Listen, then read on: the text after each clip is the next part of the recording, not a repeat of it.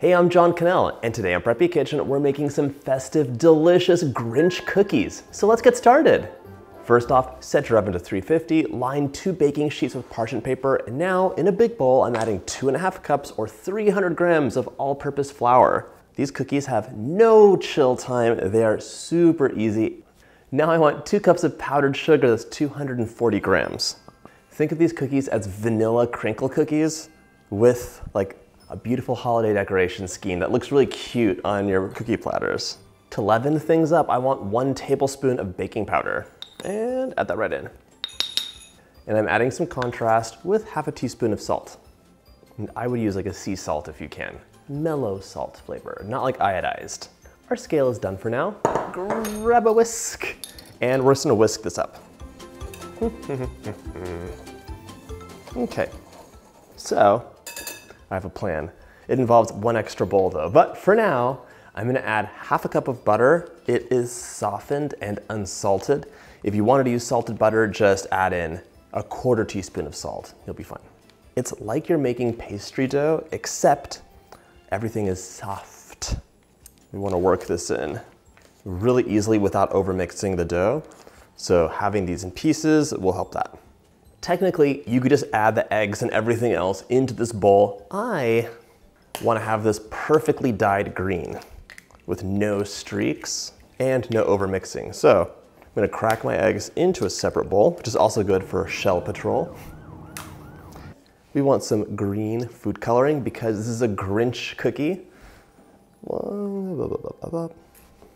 Give that a whisk.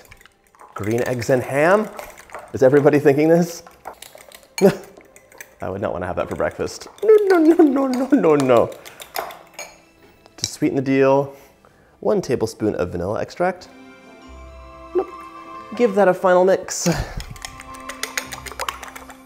Add this delicious green concoction of eggs right into your dough.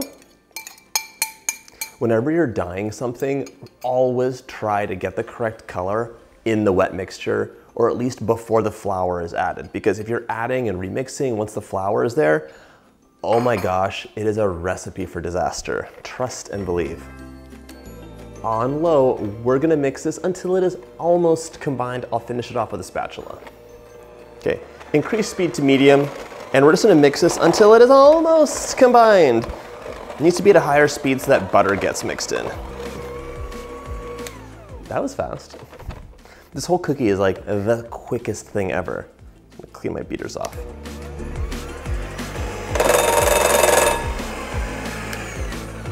That's how you do it, look.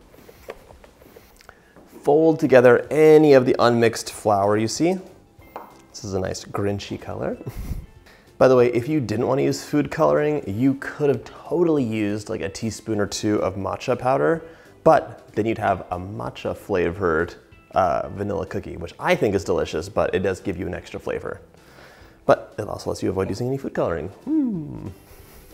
Okay. It smells so good. Set this aside for a moment. Grab a small bowl.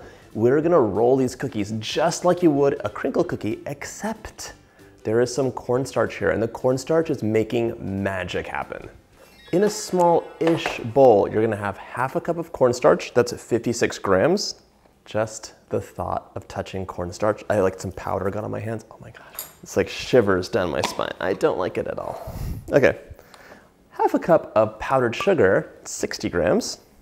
There actually is cornstarch mixed into powdered sugar quite often because it helps it stay nice and powdery and fluffy and avoid clumping.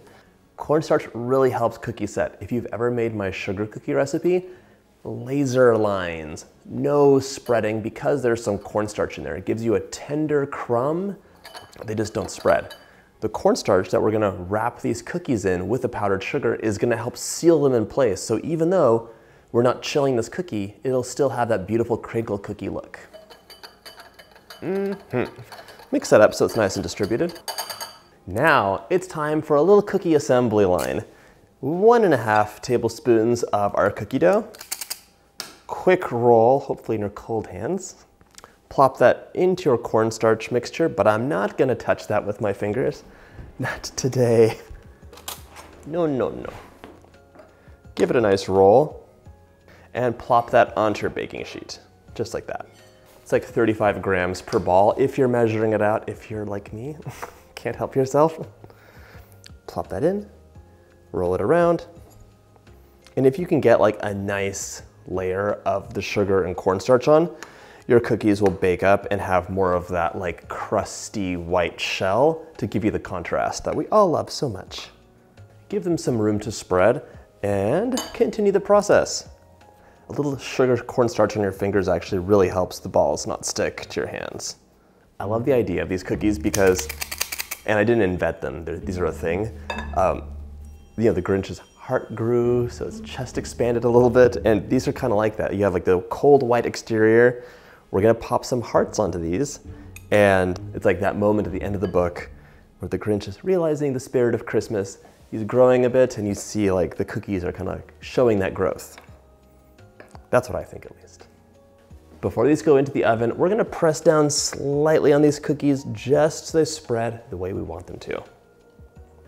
A lot of times we're looking for really fun, different cookies for our holiday platters. This makes a cookie platter complete.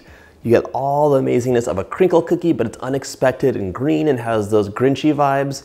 You're gonna love it. Pop your cookies into the oven 12 minutes at 350 or until they're crinkling and the bottoms are just taking on some color. Then we add our final touch.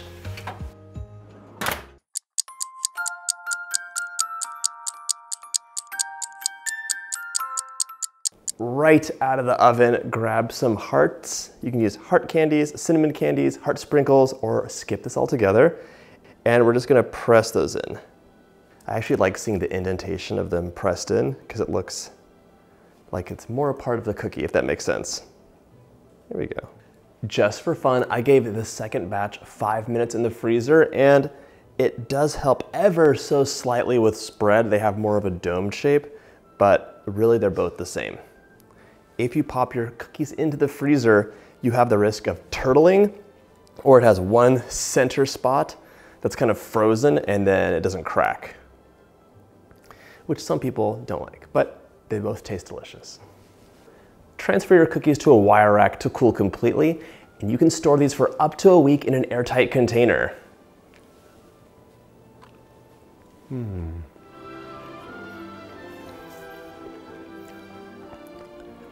Pillowy, soft, and melt in your mouth, a lovely vanilla flavor, and altogether amazing cookie. And they're the quickest cookies ever.